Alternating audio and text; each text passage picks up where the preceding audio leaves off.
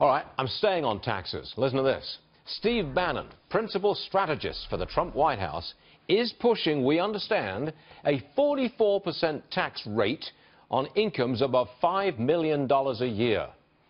I'm going to bring in Doug Schoen for this one. He's the co-author of the book America in the Age of Trump. I take it that you, as a Democrat, thoroughly approve of raising taxes on very wealthy people. Nothing could be further from the truth. I am a mainstream common sense Democrat. and if you raise taxes that high, you stem incentive, initiative, and you basically drive wealth underground. That is not mainstream Democrat thinking, and you know it. It is mainstream from where I come from. John F. Kennedy cut taxes 86. We had a bipartisan reduction of rates to 28 percent.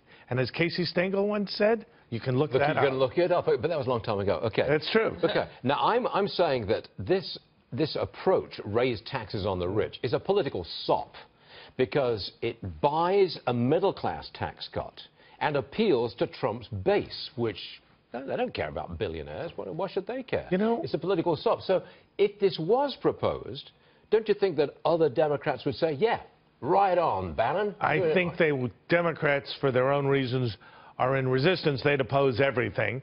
But I think Republicans would be, quite rightly, ap apoplectic because, candidly, what working class people want is to be rich, and they would hear taxes on the rich.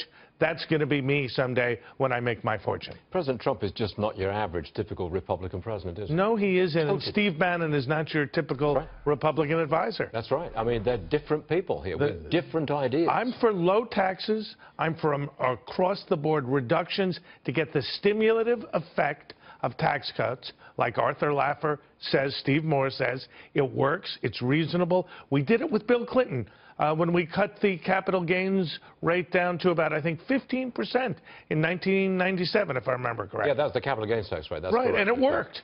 T tell me, uh, forgive me for interrupting here, but please, I'm sorry. I, have got to get this in. Tell me about Debbie Wasserman Schultz.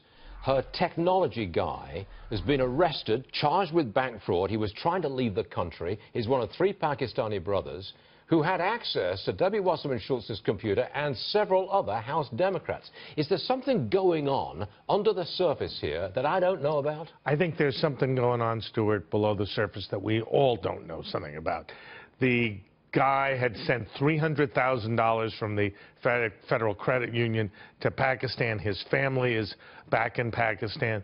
We need to get to the bottom. This is not partisanship. We need to get to the bottom of what has happened with Russia, but we also need to find out what the heck the Democrats were doing, why this guy was fleeing the country, and what the substance is of what was going on. And why did Debbie Wasserman Schultz take so long to get rid of the man? She only fired him, I think it was the day before yesterday. That's something we should ask Debbie Wasserman Schultz. Maybe she'll come on the show and but look, look, look, the implication is, I mean, this is serious stuff. I know it is. I agree. The implication is that these three brothers had access to Democrats' computers. Correct. And therefore, through that, I know that he had access to Debbie Wasserman Schultz's password for her iPad.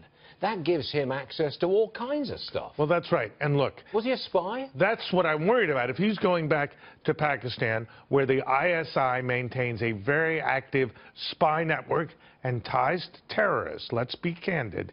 This raises very, very troubling questions. And as you point out, Stuart, this isn't politics. It's not partisanship. It is American security. Okay.